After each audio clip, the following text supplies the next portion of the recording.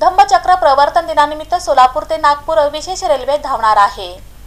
धम्मचक्र प्रवर्तन दिनानिमित्त सोलापूर ते नागपूर विशेष ट्रेन धावणार आहे. मध्य रेल्वेने प्रवाशांची अतिरिक्त गर्दी लक्षात घेऊन हा निर्णय घेतला आहे.